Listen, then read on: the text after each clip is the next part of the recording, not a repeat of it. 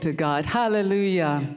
God bless you. God bless you. It's so good to be in the house of the Lord. Amen. Hallelujah. How, how many of you know I was glad when they said unto me, Let us go into the house of the Lord? We just give God praise today.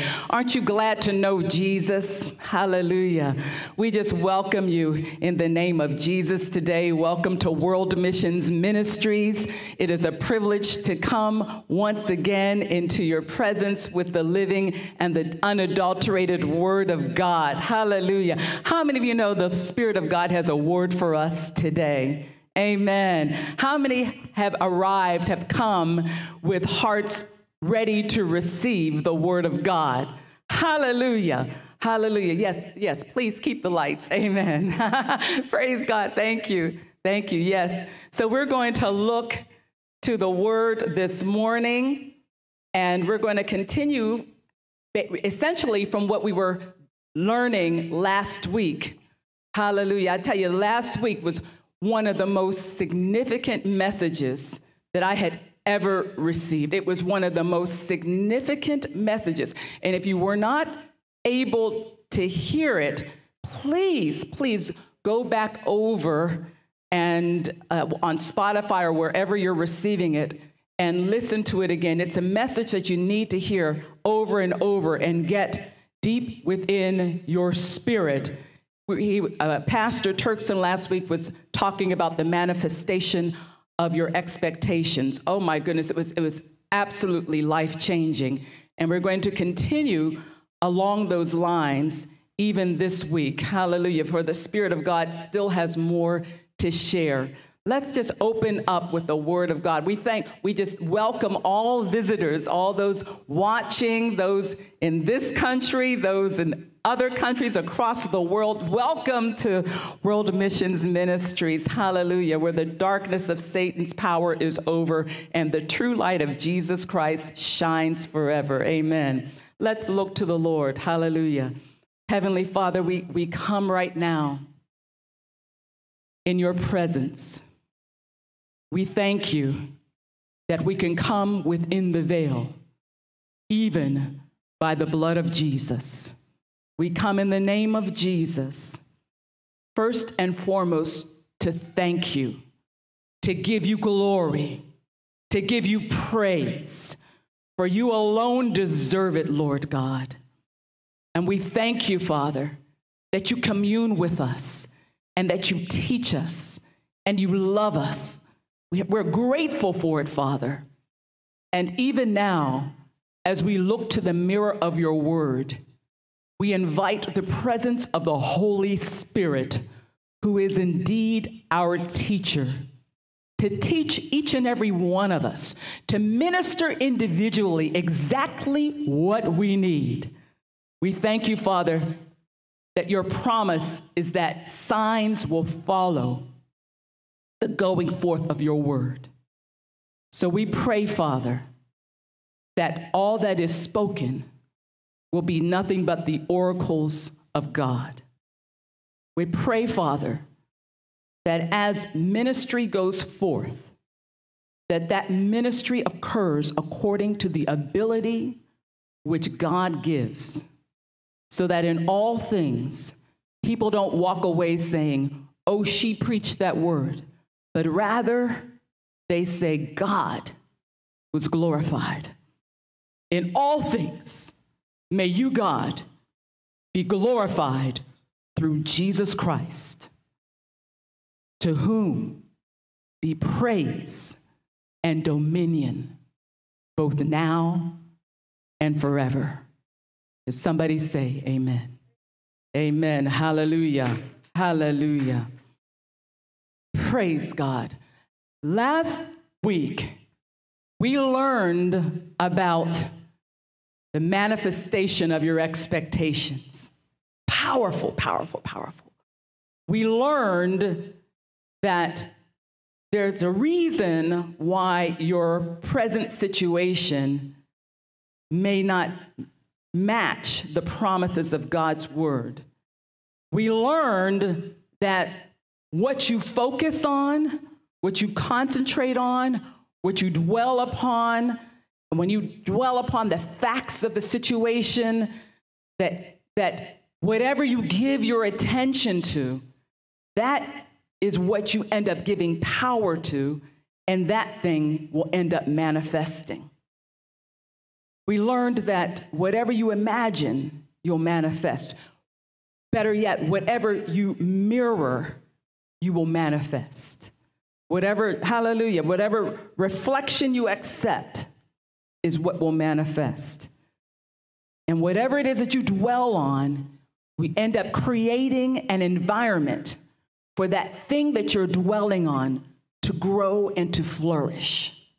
So, if you're dwelling on negative things, if you're dwelling on what's not happening, or how terrible life is, or why things aren't happening, if that's what we're dwelling on, then we're creating an environment for that to flourish and for that to manifest. Whatever we mirror is what manifests. I encourage you to truly review again and again the lesson from last week. It is absolutely life changing. We learned how the enemy will try to exploit your vulner- vulnerabilities by showing you images in the hopes that you'll accept those images because he understands, the enemy understands, that what you mirror will manifest. So he sends up images so that you will accept them, receive them, and mirror them, and then that would become your living experience. And along with that, let's just look at uh, Genesis chapter 11. Genesis 11, we'll start there, and I just want you to hold on tight because the Spirit of God is just going to continue to minister these truths to us even today. And I believe that many of us will be blessed. Hallelujah. I, be- I believe that, that the distance between where you are and God's promise to you will collapse as we, as we receive and apply the truths of the Word of God. In Genesis 11 and verse 6, there, there was an occurrence where there were uh, the pe- people on earth, and they all spoke one language and they had a mind to build a city and a tower that would go up to the heavens. And the purpose of building that tower was to worship the stars, astrology, and all that sort of thing. And so in it says, in fact, let us let us look at verse 4. It says, and they said, Go to, let us build us a city and a tower whose top may reach unto heaven. It's really referring to the heavens. They wanted to worship stars. And it says, and let us make us a name, lest we be scattered abroad upon the face of the whole earth. Verse 5 says, And the Lord came down to see the city and the tower which the children of men builded. And the Lord said, verse 6, Genesis 11, 6, the Lord said, Behold, the people is one, and they have all one language, and this they begin to do. And now nothing will be restrained from them which they have imagined to do. And so, again, the, the principle here is what you imagine will come to pass. Nothing will be restrained from what you imagine to do. So if you focus on, you're thinking about, you're mulling over, you're meditating on something, whatever you're imagining to do is mm-hmm. going to come to pass. There's no restraint, nothing's going to prevent it from coming to pass.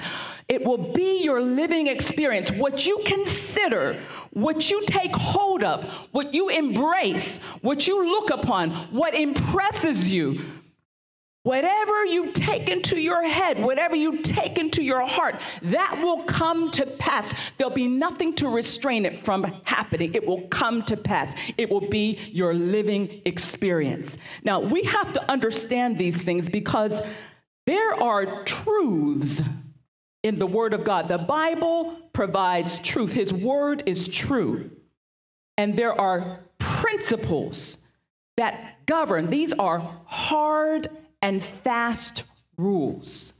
These, these are just as reliable, just as regular as like the, the laws governing mathematics. You know, one plus one is two. It's just as precise, it's just as exact as the you know, physics and the physical sciences, right? Mathematics, aerodynamics, astrodynamics, thermodynamics. You know, that's why we're, it's because of the reliability of the rules and principles that we understand that we are able to fly people to the moon, right? We even have, we even had, um, who is it? Different people, Bezos and these guys going up into space and coming down commercially now, right? Be- but it's because of the application of the rules. There are certain rules that govern. There, there are Newton's laws of motion, right? There are dyna- the dyna- dynamics of systems under the influence of gravity. These are rules that are reliable, they are exact, they are precise. You know, I think about the woman, what's her name? Katherine Johnson. Remember the movie Hidden Figures? This was a genius mathematician and they utilized her calculations in the space program. She worked for NASA, and you know, there was some, she calculated launch windows. She calculated rendezvous points, you know, but you had to apply the rules, and those rules had to be reliable. They, are, they will work every time you work them. Are you understanding this? Hallelujah. And see, people have unlocked the mysteries of principles like mathematics, and it has aided mankind. The fact that I can stand here with a, a microphone without a cord is a testament to how these principles have been applied to the aid of mankind. Similarly, there are principles of the Word of God and as you unlock the mysteries of the principles, they can aid you in life. You can be successful in life. Hallelujah. The principles of the Word of God are just as equally reliable as the principles that these mathematicians and the scientists and all that, that, that they rely upon. They came from God. And this word comes from God. And when He speaks it, it is so. These principles are exact, they are reliable, and they will work if you work it. Hallelujah. And they apply whether you believe it or not. They're in operation. And so we learned last week that, there, that your expectations will manifest. The manifestation of your expectations. And we're going to continue to discuss that. But I, the topic is your expectation is your destination. Your expectation is your destination. Whatever you expect, whatever you imagine, it's going to come to pass. Come with me to Proverbs 23 and verse 18. Proverbs 23 and verse 18.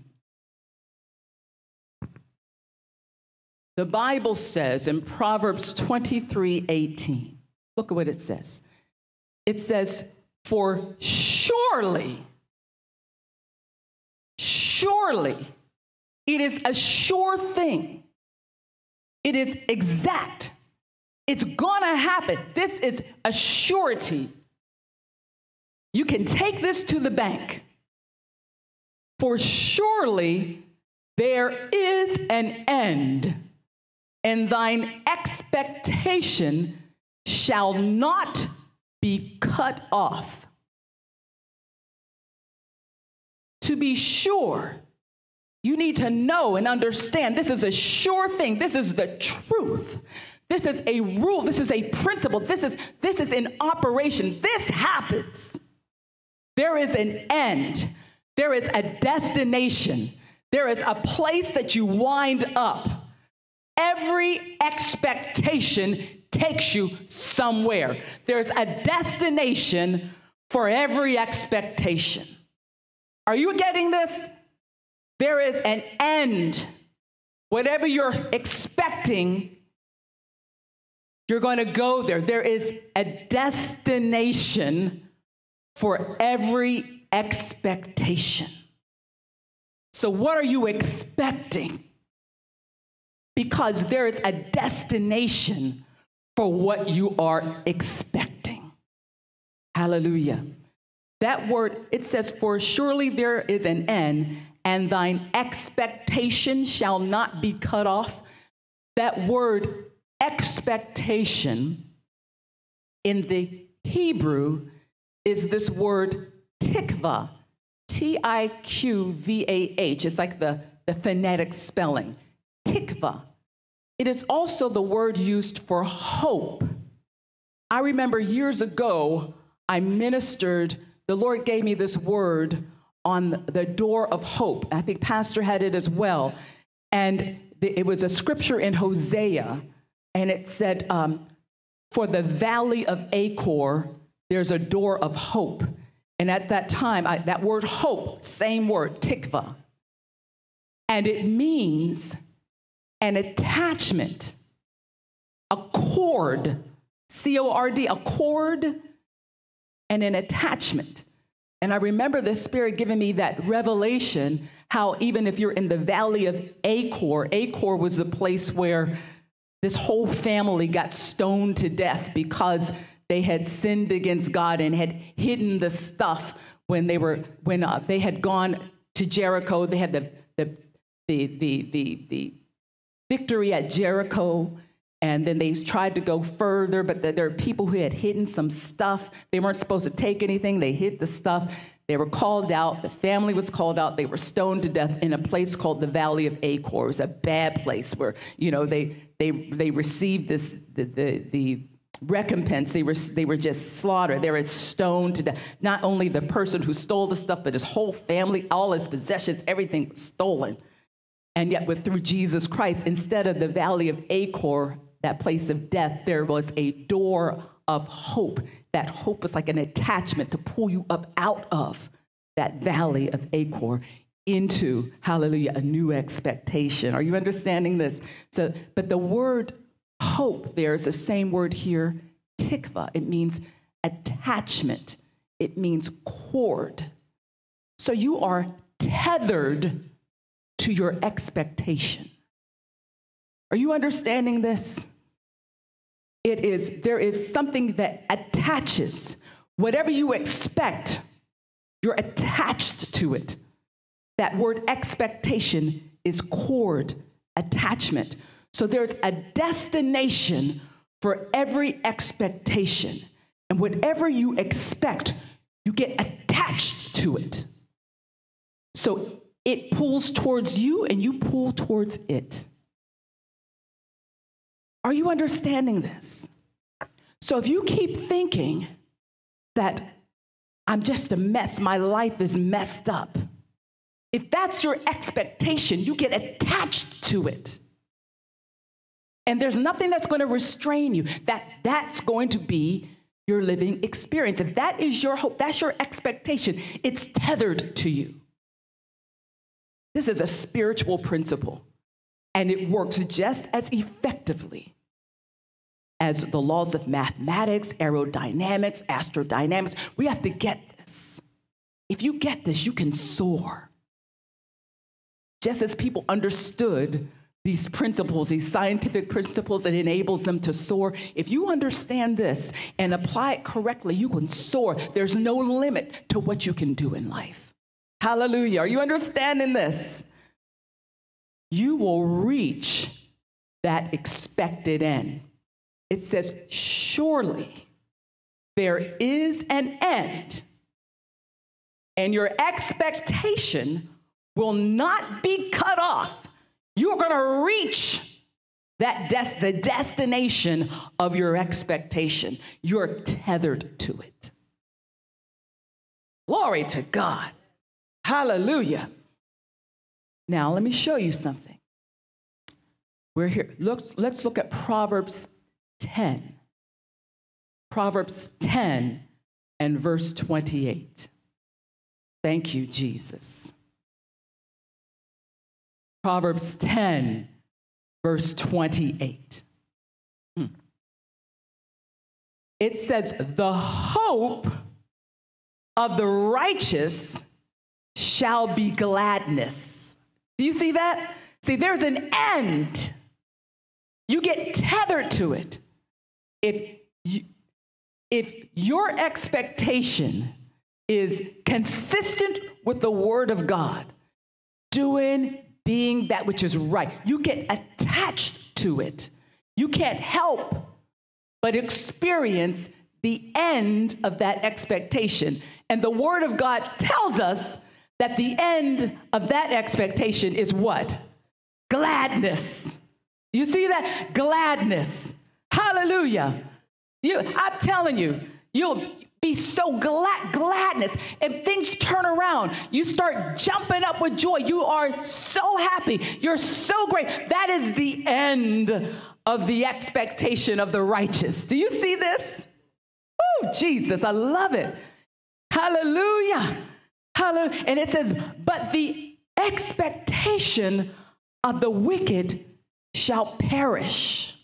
You, you understand? So if, if you have expectations that are consistent with the wicked, there's an end to that expectation. And it's not good. But the hope, the expectation of the righteous is gladness. There is an end. Hallelujah. You get tethered to it. I'm telling you, that word tikva, it means cord, attachment. It's a tether. You get tethered to it. If you say hallelujah, Mm-mm-mm-mm. so if you are thinking, nothing ever goes right for me, how come all these terrible things always happen to me? Why can't I ever seem to get ahead? That, that is not consistent with righteous expectation. That is what the Bible describes as a vain imagination. It is you're imagining a vain thing. And whatever you're thinking about, that's your perception, that's exactly what's going to show up in your life. This is a truth. This is a principle. It is a rule. It's governing whether you, ex- whether you agree with it or not. Whether you say she don't know what she's talking about, it doesn't, it doesn't matter. I'm just reading to you what the word of the Lord says. And it doesn't matter what you think about it, how you, whether, you know, it's, you think it's true or not, it is operating. it, it just is. It just is. There is a destination for every expectation. So, what you expect to happen in your life, that's what's going to show up. Mm-mm-mm-mm-mm-mm. Thank you, Jesus. I'm telling you, it is important to have an earnest expectation of good. Hallelujah. Because if you don't change the expectation, you're going to reach the destination of your expectation. Surely there is an end. Now, see, this can be great news, or it can be not so great news. It depends on your expectation, right? If you have an earnest expectation of good, you think, in accordance with the word of God. God's coming through for me. By his stripes, I am healed. Hallelujah. Prosperity, hmm, peace within my house, prosperity within my palaces, peace within my walls, prosperity within my palaces. If that is your expectation, do you know what you end up with? Peace within your walls, prosperity within your palaces. Hallelujah. Hallelujah. So it depended on your expectation. Hallelujah. This could be good or bad. You understand? Thank you, Jesus. And if you've been maintaining these thought patterns, expect, oh, oh, just expecting things to be bad, expecting tomorrow to be just like yesterday, expecting that this condition will never change. This child will never change. My financial condition will never change. He, it, things will never get better. Why, do I, why is, does this have to be my lot in life? I encourage you today to change your expectation. You can be tethered to something else. You can be tethered to that which is good. You can be tethered to the true light. You can be tethered to the truth of the word of God. You can be tethered to the promises of God that are yes and amen. And you can alter your expectation and thereby change your destination. Is anybody here today? Hallelujah. Hallelujah. Hallelujah. Hallelujah. See, these expectations, they are formed on the basis of what you think about. Mm-mm-mm-mm. And what, it's not every thought. It's not every thought. It's the thought that you accept. It's the image that you accept. Because as we learned last time, even the enemy comes and shows you things, places thoughts in your head so that you can form images of them, so that you can see what he has designed for you. Because what you accept, you expect. What you accept, you expect. The thoughts that you, ex- that you accept form your expectation. The thoughts that you accept, they become your expectation. That's why you don't receive every thought. The thoughts that you act, what you accept, you expect. Look, if you accept an offer of employment, you expect to have a job.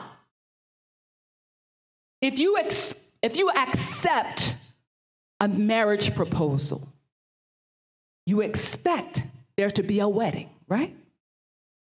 What you accept, you expect. If you accept an invitation to dinner, you expect to eat.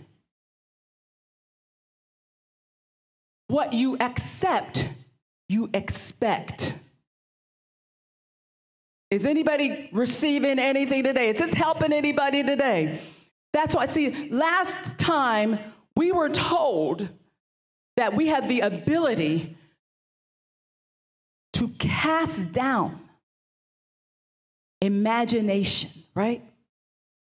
All those thoughts that want to exalt themselves. Oh my goodness. Maybe we should just look at it.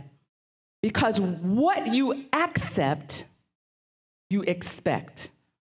Where is that? Hallelujah. Second Corinthians chapter 10, right? Hallelujah. Let's just go there. This is a life changing message. I, when, I, heard that last week, I was just gobsmacked. I was, I was, I was, I said, Lord, thank you. Thank you, thank you, thank you. Thank you, Lord. Thank you. Thank you, Lord. Thank you, thank you, thank you. Hallelujah.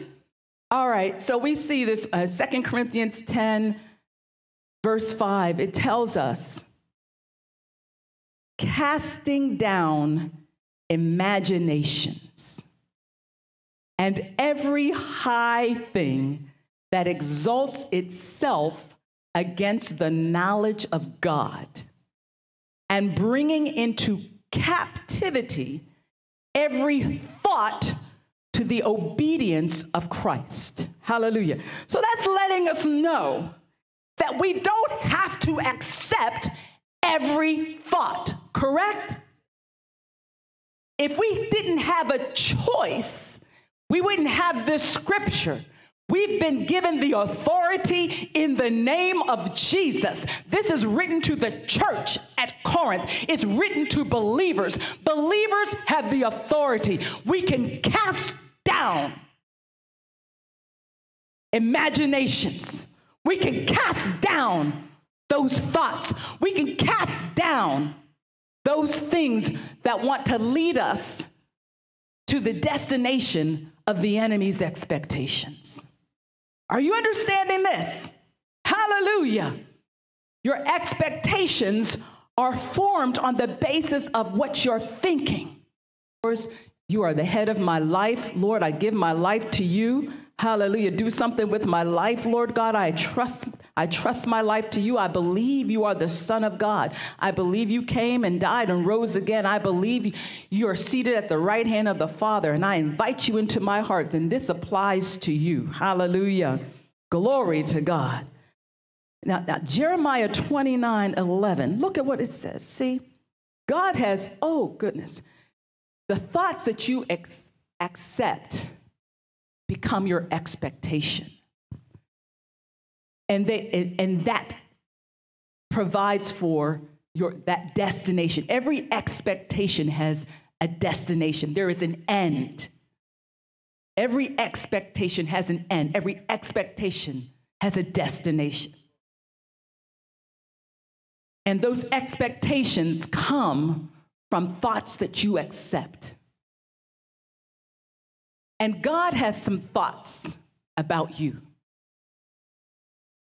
There are things that God has accepted concerning you. It's recorded in Jeremiah 29 11. The Bible says, For I know the thoughts that I think towards you says the Lord. Thoughts of peace Mm-mm-mm.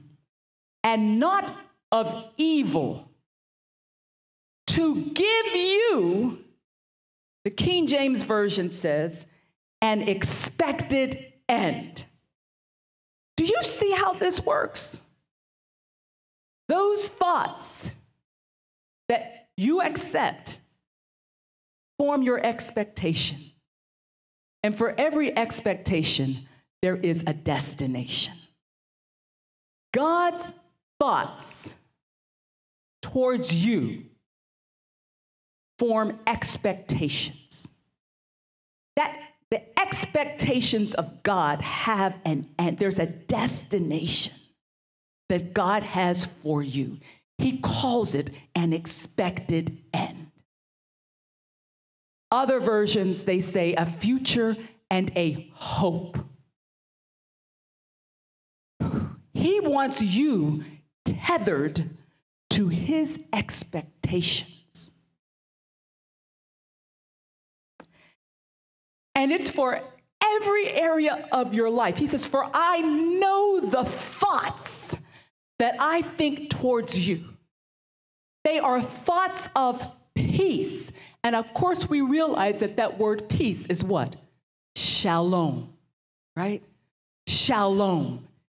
It means well being, it means prosperity, it means health, it means wealth. Are you understanding this? Glory to God.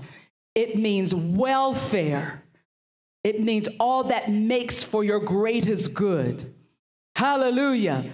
This, this is what God has towards you, the thoughts that He has towards you. It means favor. Look at that again. See, you have to understand the context, what that means. It doesn't just simply mean, oh, everything's just peaceful and quiet. No, that word shalom, his thoughts, he has thoughts of well being, affluence, blessings, favor, health, prosperity, safety, rest. Glory to that is embodied in shalom. He has thoughts of you. Yeah, that's what he thinks about you. That's what he thinks is your expected end rest, safety, security, health well being, prosperity, goodness, gladness, favor, safety. Are you understanding this? Hallelujah. That's what his thoughts are towards you. That's, that's his expectation for you. And there's an expected end. If we simply align with him, we get tethered to that. Hallelujah. Thank you, Jesus. Thank you, Jesus. And those thoughts, you know, so it's so interesting because sometimes we're, we're, we're, in particular dilemmas and we don't know how God's going to move. Or better yet, we start praying and we start telling God how He should move. God, I want you to do it and I want you to do it this way. Amen. God help us. Amen. But He says, I know the thoughts that I think towards you. And trust and believe. They outnumber the, the types of scenarios that you can devise to get you out of your dilemma. Hallelujah. Look, uh, you're, there. If you're there, uh, we're at Jeremiah 20, 29 11. Let's hold that and then look at Psalm 139. Are y'all learning something today? Oh, God is just awesome. Oh, this is life changing. If I just line up with God's expectations, oh my goodness, there's no restraint. I can't help but reach it. Hallelujah. Nothing will be restrained from me to, to achieve that, the, the destination of that expectation. For surely there is an end. It is sure. The, hallelujah. The words of the Lord, they are sure, they are true, they are reliable. Hallelujah. God is unfailing. I'm going to reach that destination. Praise be to Almighty God. And his expected end for me is shalom. His expected end for me is welfare. It is health. It is prosperity. It is safety. It is rest. It is that which makes for my greatest good. Hallelujah. It, it, it is well being. It is favor. Glory to God. That's his thoughts towards me. That's the expected end that he has towards me. And that's the expected end that he has towards you. Hallelujah. And we spend our time thinking, if it doesn't happen this way, Lord, I don't know what I'm going to do. But he says, uh uh, don't worry about it. I already got the thoughts. I, or hallelujah. I, I, there, there's so many. It's beyond. Look, even the enemy cannot figure out what I've already prepared. Are you see Psalm 139? Look at verse 17.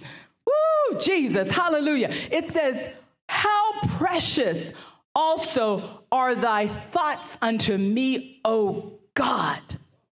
Mm-mm-mm. Now remember, every thought is a thought of shalom. Shall every thought that God thinks towards you is shalom. It is your safety. It is your health. It is your well being. It is your prosperity. Hallelujah. It is your favor shown towards you. Every thought is shalom. And here it says, Oh, they're precious. Oh, how great is the sum of them. Verse 18 If I should count them, they are more in number than the sand. Oh, Jesus. Have you ever tried to count the sands on the beach? Think about it. His thoughts towards you, that, that the many different manners, ways, thoughts that he has already prepared to ensure that you are tethered to your God given destination, that expectation. It will not be cut off. Hallelujah. So things didn't go well this time, but God's not finished. Hallelujah. Are you getting this? God's not finished. You just, you cannot, you just have to maintain that expectation. Keep it in alignment with God's expectation for you, which He puts in His Word. Hallelujah. He has so many ways to get to the more than the number of the sand. Thank you, Lord. Thank you, Lord. Hallelujah. Can you count the grains of sand in a beach? in a handful. Hallelujah. They're more than can be numbered. God has your welfare so planned out, your expected end. Hallelujah. But even as we learned last week, He's seeking our cooperation. Praise God. He says, they're more in number than the sand. Look, He says, when I awake, I am still with thee. Hallelujah. Now, that, that's so interesting. When it says, I am still with thee, that word still means again. Again, it means to testify by repetition. It means again. To testify by repetition. Glory to God. Hallelujah. When I awake, I continue to testify by repetition. I, hallelujah. When I awake, I, you're still, your thoughts are still with me. Hallelujah. I, I still believe you, Lord God. I, I still speak in accordance with your thoughts. I'm going to repeat what you've said about me, Lord God. Hallelujah. Because the, the, the, the, thoughts that you have towards me, all the thoughts of shalom, hallelujah, they are more than can be numbered. And I'm going to continue to testify of them every day. Every day I awake. I awake to you, Lord God. I awake to see your expectation for my life. Is anybody understanding this? Hallelujah. Hallelujah. Thank you, Jesus. You see, God's expectations for you hmm, must be something you agree with. For it to become your reality, we have to agree, we have to cooperate. We saw that last week how we are co laborers together with God. We are co workers with God. Thank you, Jesus. Mm-mm-mm-mm-mm. So, how do we do that? We have to agree with God's expectations for us. They will come to pass, they will not be cut off. And He's got more ways to make them happen in our lives than you can number the grains of sand. Are you understanding this? Hallelujah. So, how do we do that? What do we, what do, we do? Last week, we learned that we need to use what the word of the Lord says about us in prayer. And we ended by doing just that. We ended by praying. And I just want to share what the Spirit of God instructed me to minister as well. And for that, let us go. I know you know this, but let's just look at it to Joshua 1 8. Thank you, Lord. I know you know it. Let's look at it. You see, the Bible says, This book of the law shall not depart out of thy mouth, but thou shalt meditate therein day and night, that thou mayest observe to do according to all that is written therein. For then thou shalt make thy way prosperous, and then thou shalt have good success. Hallelujah. So, yes, we, we use the word of the Lord in prayer. It's also expedient and helpful if we take to do exactly what is prescribed in Joshua 1 8. It says we have to meditate We have to observe and we have to do. Meditate, observe, and do. Hallelujah. Because then you make your way prosperous. You, you, you, you experience the end of your expectation. And you have that good success. You end up with the gladness. The end, hallelujah, the expectation of the righteous is gladness. You end up there. And so I, I was shown that it's important to meditate, to observe, and to do. And it says to meditate day and night. So, meditate. I know we all come up in church and we heard meditate means to mutter. I'm just going to make it simple. You have to reflect on the word. Just like last week we heard, you know, you have to, whatever you mirror manifests. So, we want to reflect on the word to give it back, to show a mirror of, to reflect on, to consider. We're talking about expressing a thought or an opinion that results from reflection. You take the word of God, praise God, and you start to reflect on it. And you take that word and you make it yours. And you do it day and night. And see, this is what I this is what I was um, this is what I receive. When you wake up, each day that you wake up, you remind yourself of who you are. You know, you come, you're waking up out of slumber. You're like, like you wake up, you say, mm, okay, well, see, what day is it? What time is it? Don't you do that? I mean, okay, maybe it's just me. Sometimes I wake up, and it's like, oh, what is it? Is it, is it, is it Thursday, Friday? Is it Saturday? What day is it? You, you have to remind yourself of who you are.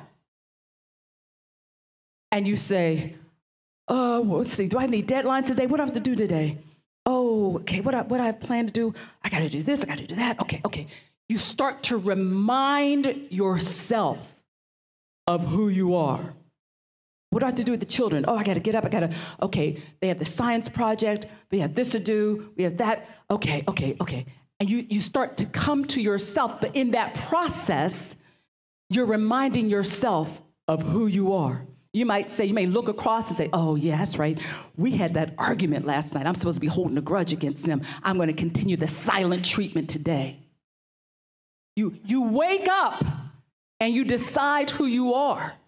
Oh, that's right. That child, they disrespected me yesterday, and I told them, okay, yeah, I'm all right. They wanted to do that. That's not going to happen. Yeah, I, re- I, I remember now. You remind yourself of who you are each day that you wake up. You remember who said what, this and that, and or you wake up and say, "Oh man, I'm just a mess.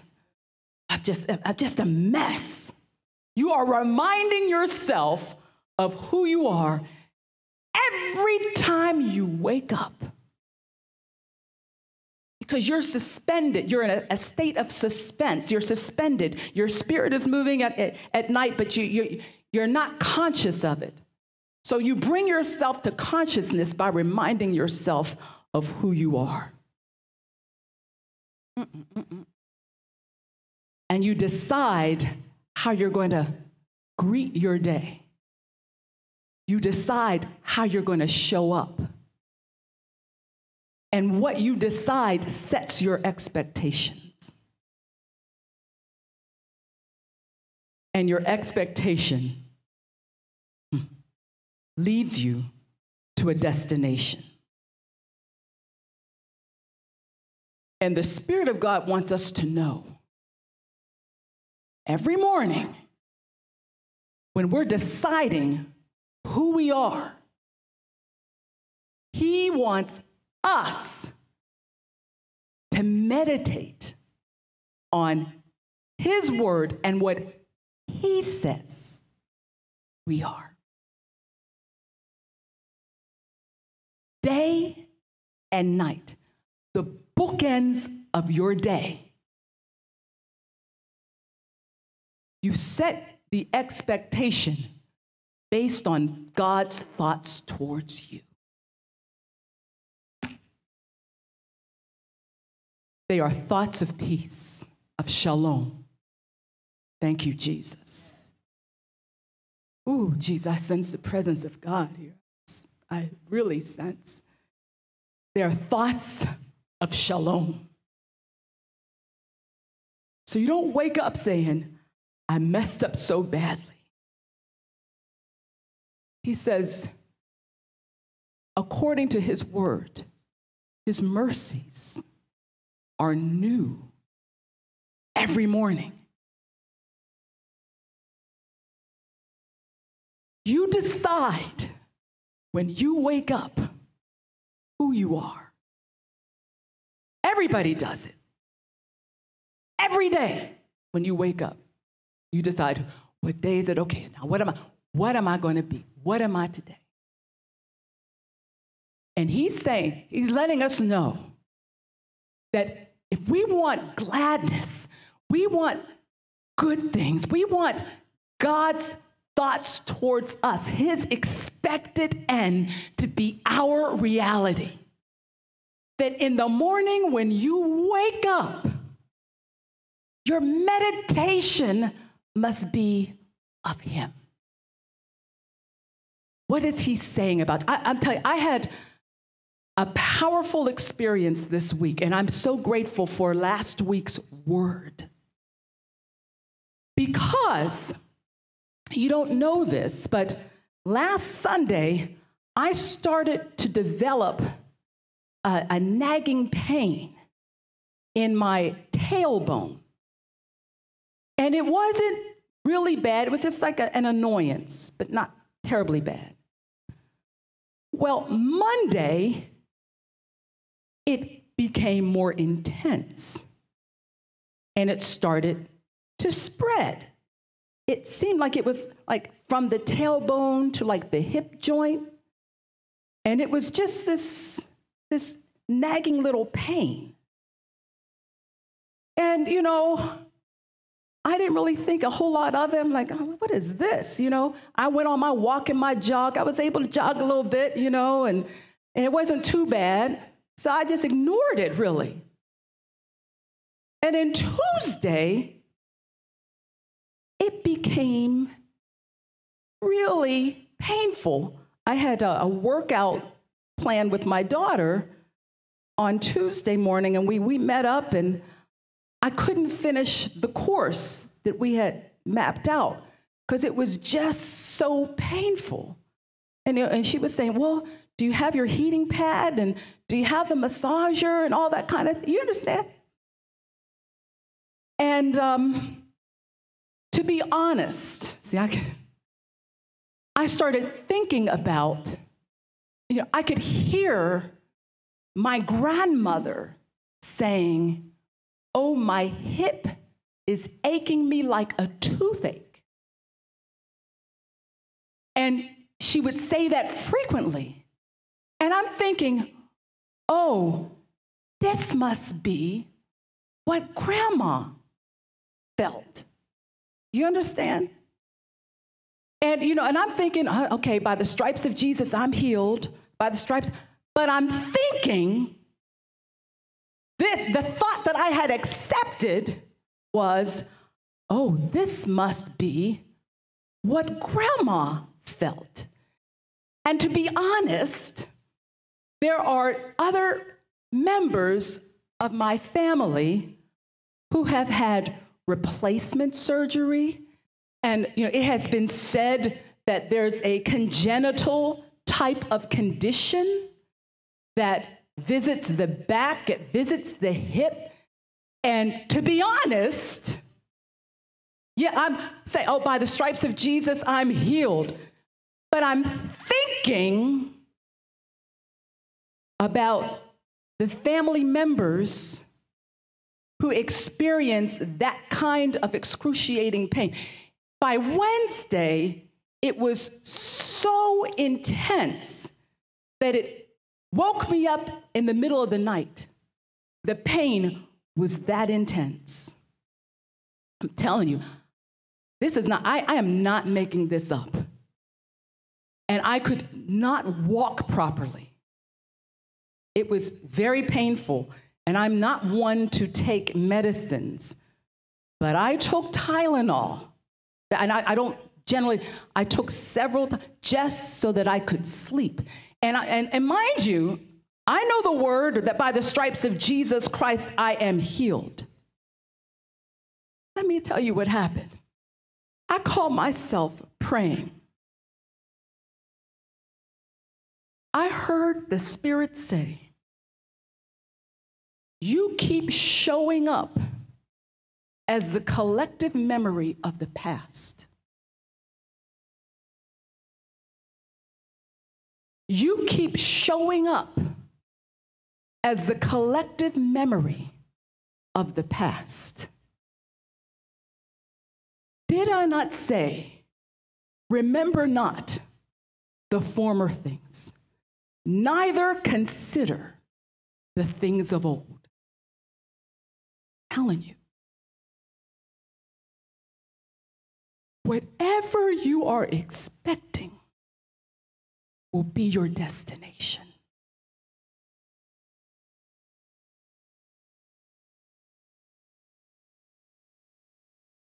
I was instructed, the Spirit just spoke to me. Because you know, you know the word. Oh, Jesus died for me. He took my sicknesses and diseases. I can quote you Isaiah 53 5. I could do all that. But what are you expecting? I, I was so, I, you keep showing up as the collected, collective memory of the past. Like you're just collecting all this information. Grandma said this, and this relative that, and that person's had a back thing, and that person had a hip replacement. That you keep showing up as the collective memory of the past. You must show up in the vision of the word I gave you.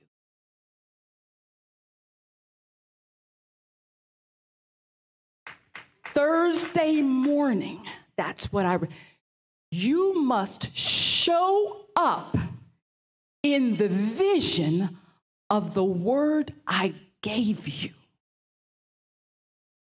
Did I not say, Behold, I will do a new thing? Did I not say, Remember not the former things? Don't consider that. See, what you consider forms your expectation, and you get tethered to that. And that is going to be your end. Now, I don't want a hip replacement. I don't, I don't want pains all in my body. That's not the end that God has for me. He says, Janice, I know the thoughts I think towards you. They are thoughts of shalom. I've got an expected end for you. But if you don't change your expectation, you're not going to receive it.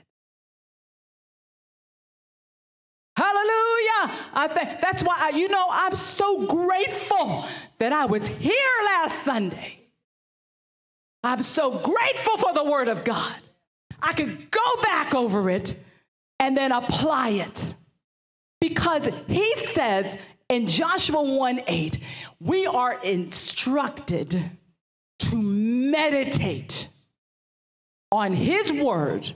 When you wake up in the morning, before you decide who you are, you make sure that that decision is based on the Word of God. So you meditate, you reflect on, and then you observe. You see yourself in that Word. He, I was instructed to show up in the vision of the Word that He gave me. I, that was Thursday morning. And so in my bed, I got quiet. I closed my eyes. And I saw, my, I saw myself doing cartwheels. I saw myself dancing. I saw myself healed. I saw myself as the healed of the Lord. I saw myself jogging without any pain. I saw myself saying, Oh my goodness, I have no pain. Where did it go? There's no pain. I meditated until I observed myself in the word that He gave me. Hallelujah. And I was able to change my expectation so that the expectation would line up with the word that he gave me. Because you can quote all the scripture that you want, but if your expectation doesn't line up, your, the, your expectation shall not be cut off. Hallelujah. Is anybody learning something today? Hallelujah. And I honestly, honestly, Thursday, that pain started to just ebb. It just, it just left, left out of my body. It wasn't like immediate, but it got duller and duller and duller and duller. And it was gone. It was, it's gone. It's gone. Hallelujah. I bless the Lord. It's gone. I'm myself again. I'm telling you, I, this thing was so powerful. I didn't know how I was going to walk down the stairs. And I'm thinking, that must be what grandma was talking about. Oh, this one visited this family member, that family. Spirit said to me, You show up as the collective memory of the past. You must show up in the vision of the word that I gave you. I had to change that expectation. You have to jumpstart, change your expectation because that expectation becomes your destination. And Joshua 1 8 is saying, do that on the bookends of your day. Even if things didn't go quite as well, the way you wanted to. I mean, when you lay your head down at night and you reflect on your day, you do it through the prism of the Word of God and you see yourself. And the whole idea is to meditate. You reflect so that you can observe. And that word observe actually is shamar. Like my daughter's middle name is Samara, from Shamara. It's Hebrew, it means to guard or to protect. So you're, you're given the vision, you see yourself in the word, and then you guard it. You protect it. So that if anything else wants to float through your mind, you can cast that imagination down. You have to meditate, you have to observe, and you have to do. Jesus himself said, you know, okay, the word, uh, wonderful that you know these things, but blessed are you if you do them. That's what Jesus said. Hallelujah. So the word is telling us that you meditate in that word day and night. You wake up as you're deciding who you are, you make that decision based on God's expectations for you. And you see yourself in it and you get tethered to that expectation. And there is a destination for every expectation. And that expectation shall not be cut off. It shall come to pass. Anybody understanding this? Thank you, Lord Jesus. That's why even the Bible tells us look at um, Lamentations chapter 3. Hallelujah. Thank you. I'm telling you, I am so happy. I am so happy that I that that God gave me that breakthrough. Thank you, Jesus. And look at verse 21. Thank you, Jesus. And this is what we have to do. And if you want to jumpstart your expectation, Lamentation 321. You want to change your expectation to line up with the word of God. It says, "This I recall to mind." So you have to take the word of God and recall it to your mind. You take Yes, by his stripes I am healed. But what are you really thinking about? You right? I'm thinking grandma went through that this person went through that. That aunt went through that. That, oh, this. Mm-mm. You have to recall to your mind. This I recall to my mind. Therefore, I have, I rest my case. This I recall to my mind. Therefore, I have hope. What you're thinking about forms your hope, your expectation. This I recall to my mind, therefore I have hope. Glory to God. So as you're meditating, you're recalling to mind, and you let that be the thought that you accept. Therefore, you now possess hope. You're now tethered. Thank you, Lord Jesus. And he's letting us know what he recalled to mind. It is of the Lord's mercies that we are not consumed because his passion, his compassions fail not. So you're not going under. You're not, I can't be consumed because God's too merciful. God's so merciful. He's got new mercies. Hallelujah. He says, They are new every morning. Great is thy faithfulness. Hallelujah. So you, I recall to mind the mercies of God. I recall to mind that I have a new slate of mercies. I recall to mind that God is faithful. Hallelujah. Great is his faithfulness. And that, that I get tethered to that. I get tethered to that blessed hope.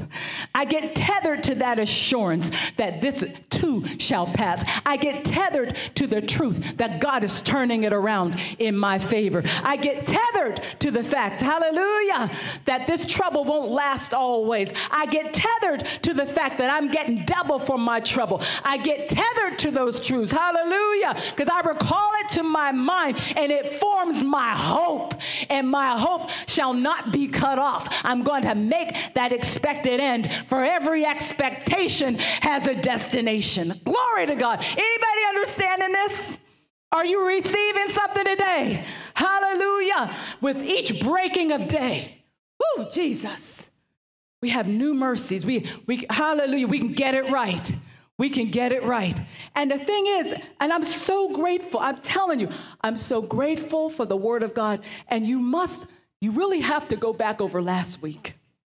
it was a lifesaver because the enemy had planned something for me, had wanted me to go in a particular direction, wanted me to think that this thing, mm-mm-mm. every expectation has a destination.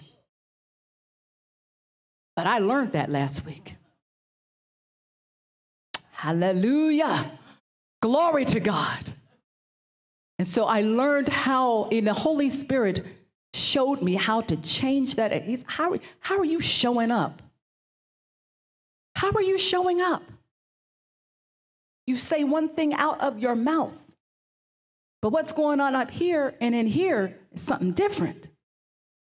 Mm, mm, mm, Thank you, Lord God. Thank you, Lord. Thank you, Jesus. Thank you, Jesus. Hallelujah. Now, see, some people may say, I'm going to end with this. Some people may say, yeah, that's all about. Some people don't, I know some people wouldn't even believe it. They would say, oh, uh, some doctor would probably tell me what it was. And it wasn't, you know, I know what it was. I know, I know what that thing, it was an attack. Nothing, I mean, so excruciating. It wakes you up. Have you ever had pain to wake you up out of sleep? Oh my goodness. I rebuke that in the name of Jesus. And see, you can we can say that. I rebuke that in the name of, but what are you thinking? What are you, what are you expecting? I, I learned that because I know by the stripes of Jesus, I mean, I could quote you, you know. I'm the Lord that God that healeth thee. I'll take all these diseases away from me. That's wonderful. But what is your expectation? Thank you, Jesus. Thank you, Lord. So you might say, you know, but you don't understand my situation. This thing is really tough. You know, this thing, you know, it's the it's the it's the big C or it's this or it's that. You, my, I am in a dire strait. You don't get it. I want you to turn to Psalm 63.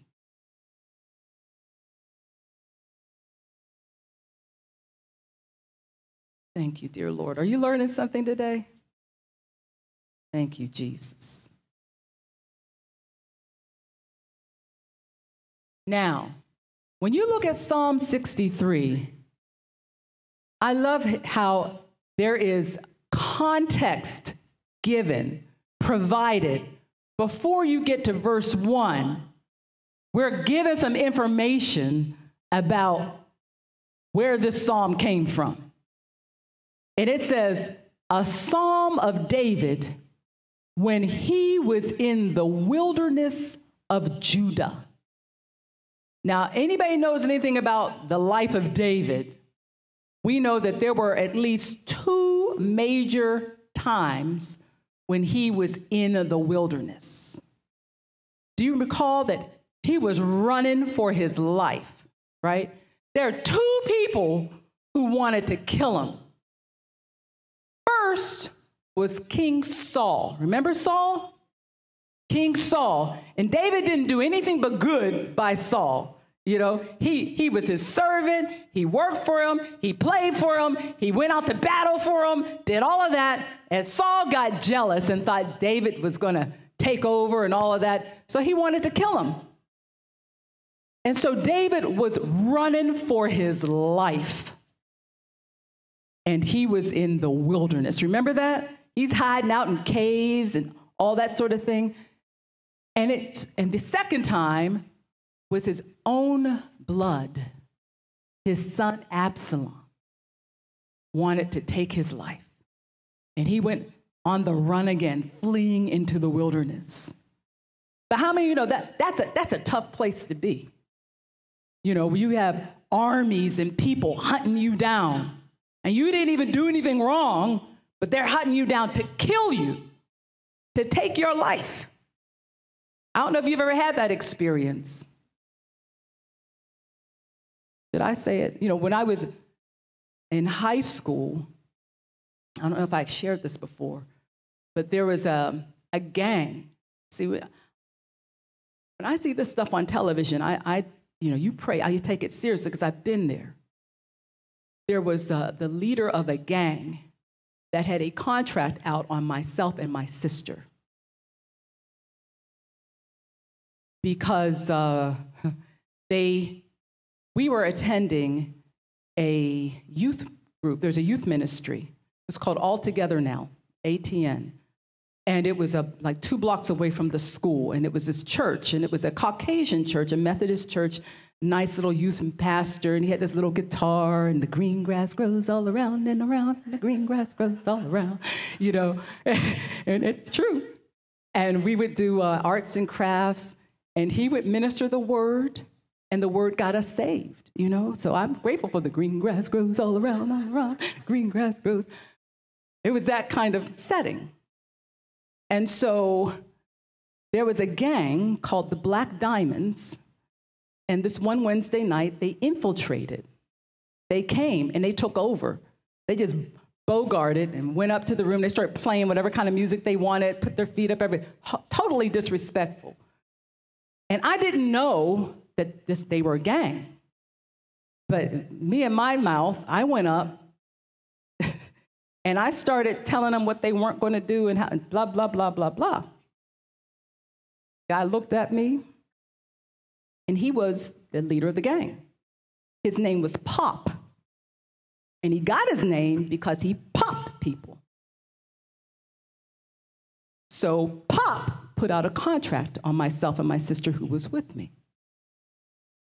So I don't take this lightly. You know, when I see like David running for his life, my sister and I literally ran out of that facility. And where I live, there's nothing but hills. Nothing. We went up Hill, Hill Avenue, matter of fact, the name of the street, Hill Avenue. And we just, and it was by the grace of God. And this guy, Pop, had a brother who took a liking to my sister and would tell my sister where they were lying in wait for us so that we could escape. That, that's how I grew up, y'all, okay? So, I mean, you see me, oh, she's a big time lawyer, but you don't know my story. You really don't know my story. You really don't know my story. But I know the goodness of God. I know the grace of God. I know where He has brought me from. Hallelujah. And He even put people in place to give us the heads up so that we didn't walk home a particular way because it would have ended our lives. That's the truth. I, ain't, I, I don't have to make, I do not have to make it up. It is the truth. And eventually, he was apprehended for some other thing he had done. And so he was removed from the community, and we didn't have to deal with Pop anymore. So we have David here. I tell you, God, you, you, if you could walk in some people's shoes, you can see the glory of God. So David was in the wilderness of Judah people after his life. And yet, even though there's all that stress, all that tension coming against him, he takes time to write.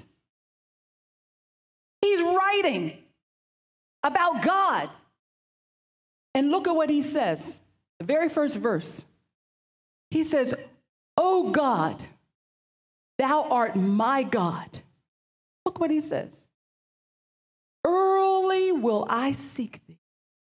telling you, you meditate day and night.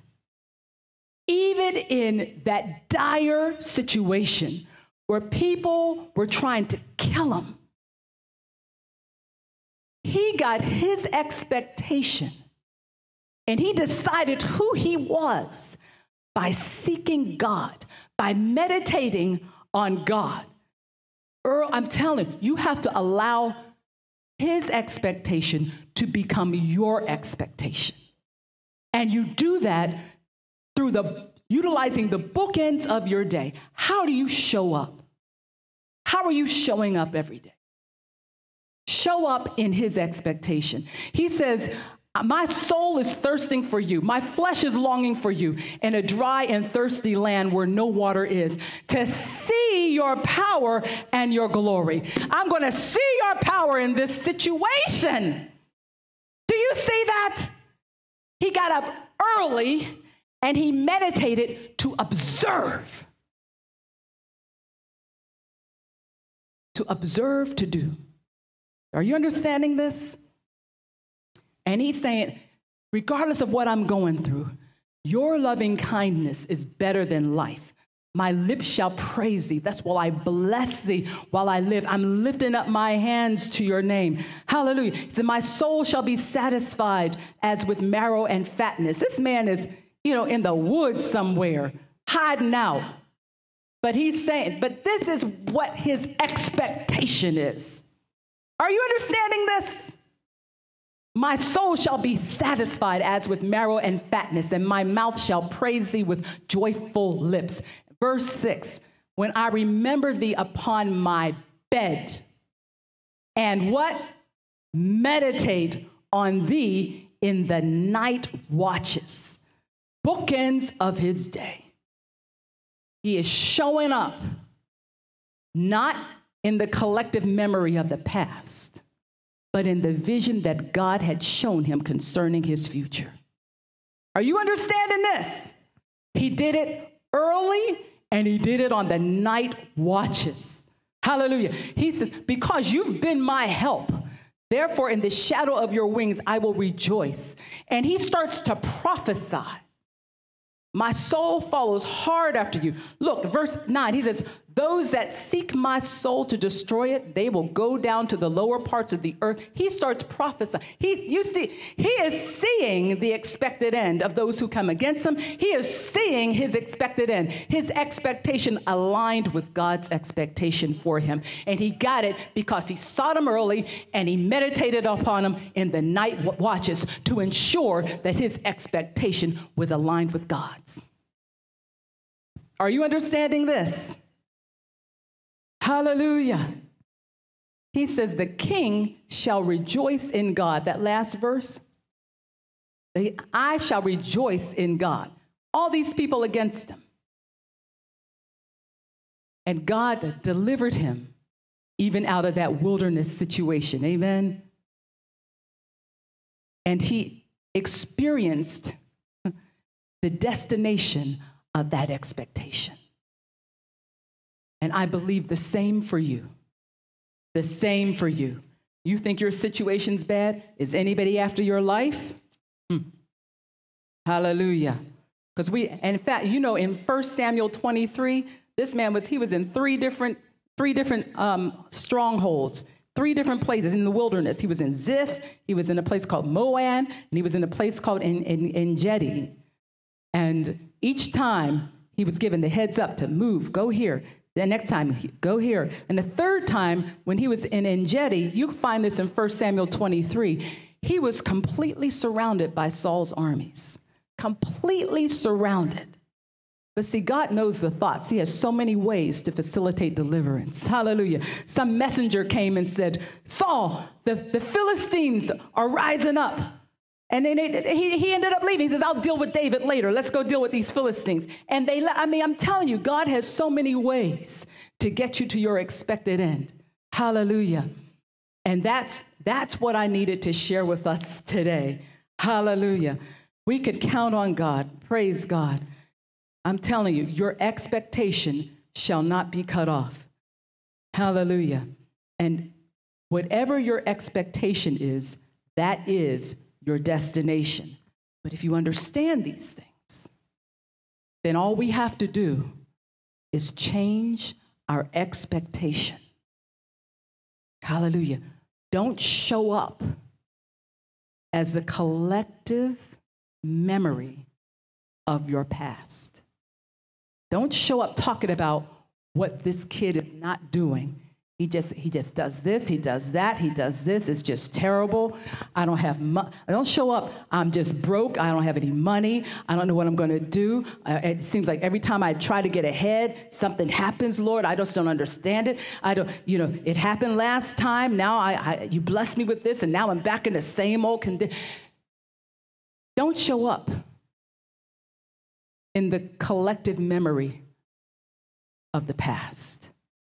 Not when God is doing a new thing, not when God has ways to cause you to triumph in every place. Hallelujah. Are you willing to align yourself, to check yourself, so that your expectation is consistent with God's expectations for you? He has an expected end for you. It is of shalom, not of evil, to give you an expected end. And that expectation shall not be cut off to the glory of God. Hallelujah. Somebody give him praise.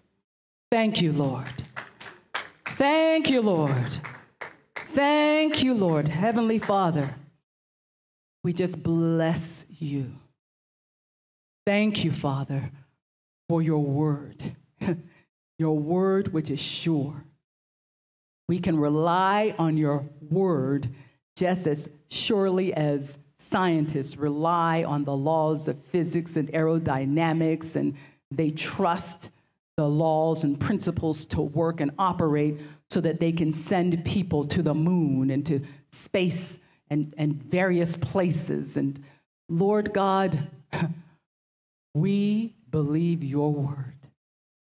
And I pray, Father, that this word brings deliverance for all of the times when we have had altered expectations, expectations that deviated from your word. Lord God, I thank you that we have new mercies. Thank you for your goodness. Thank you for a slate of new mercies so that we can align our expectations to mirror yours. And that which we mirror will manifest. So I speak over the people of God and decree and declare they are blessed.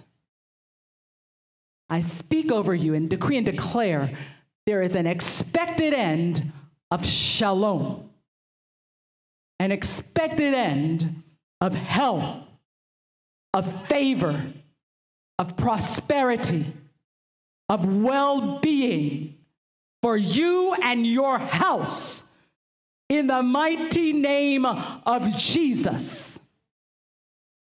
And that expectation, make it your expectation. Father, we make your expectation, the expected end that you have for us, we make it our expectation. We align ourselves with you. Spirit, soul, and body. And I thank you, Father, even in advance. Hallelujah. That the expectation shall not be cut off, but it shall come to pass. Hallelujah. I thank you. I thank you. You're not, the people of God are not down. We are up. Hallelujah. I thank you, Father, for the ways of escape. I thank you, Father, for new mercies. I thank you for new opportunities. I thank you for new jobs. I thank you for turnaround in children. Oh, bless you, Lord Jesus. Hallelujah. Hallelujah. Whatever it is that you've been believing God for, hallelujah. Thank you, Father. Thank you, Father. We strip away of the thoughts of the past, uh, the way they've been behaving the things that were said, all the, the noise, we rebuke it. We strip away. It is, it is not what governs us. Father, we just commit them to you. We commend them to you, God, and to the word of your grace. All people who've been irritating, we commend them to you and the word of your grace. Hallelujah. We pray, Father, for the expected end of shalom be manifested in our lives, individually and corporately, Lord God. Mm, thank you, Jesus.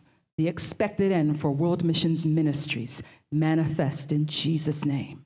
Hallelujah.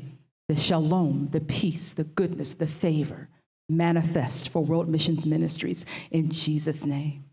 Hallelujah. The expected end, even for these United States, manifest in Jesus' name.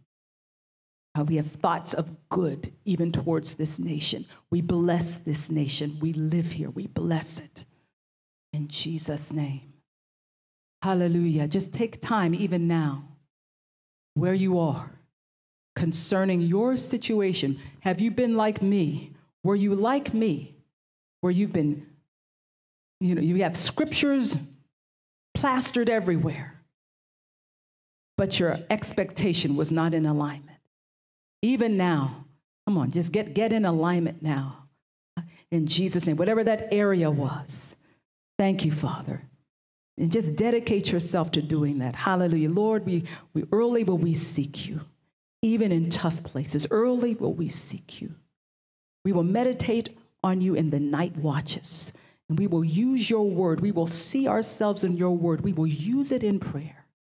Hallelujah. In the name of Jesus.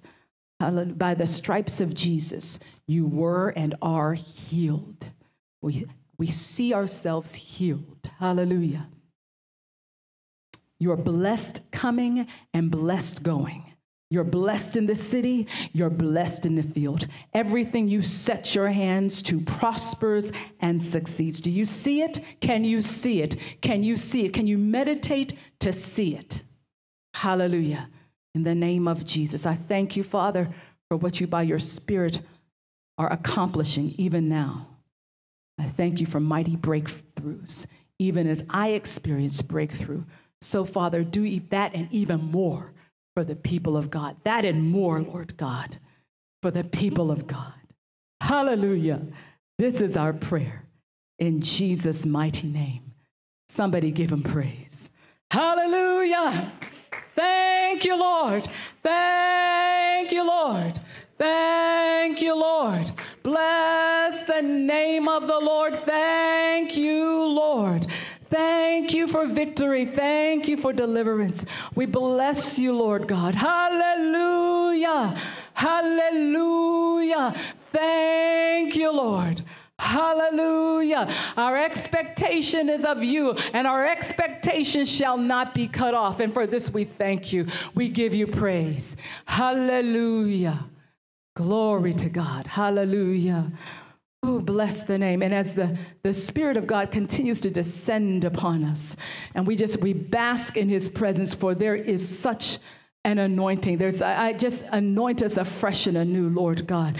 There is a fresh anointing of the Spirit of Almighty God. Just lift your hands. If you understand what we're talking about, lift your hands and receive. Hallelujah. The visitation of the Spirit of Almighty God. Just receive. Hallelujah. In the sanctuary, in your home, in your car, wherever you are, just receive. Hallelujah. Thank you, Jesus. A fresh anointing. I bless you, Lord God. Hallelujah. Thank you, Jesus. Thank you, Jesus. Let the Spirit continue to minister to you. Oh, hallelujah. Hallelujah, hallelujah. We'll continue in the sanctuary, but for and for those watching, if you would like to be a, a blessing to World Missions Ministries, you can do so several different ways. You can give by Zelle transfer at 571 234 2387, and the name is World Missions Ministries. You can give online at www.wmmchurch.org, and you can hit the donate button, or you can do it by mail, writing to World Missions Ministries, 6805 East Clinton Street, Clinton, Maryland, 20735. Hallelujah. And if you don't know Jesus as Lord and Savior, oh, I invite you to invite him into your heart today. Make, make that change, brother. Make that change, sister. Just say, Lord Jesus, I believe you are the Son of God.